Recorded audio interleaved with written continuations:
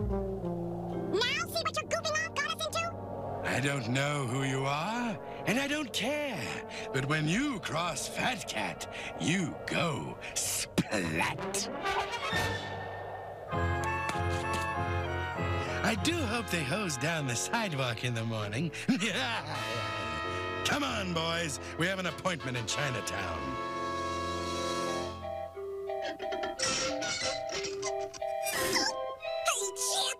maybe this detective stuff isn't so easy. Don't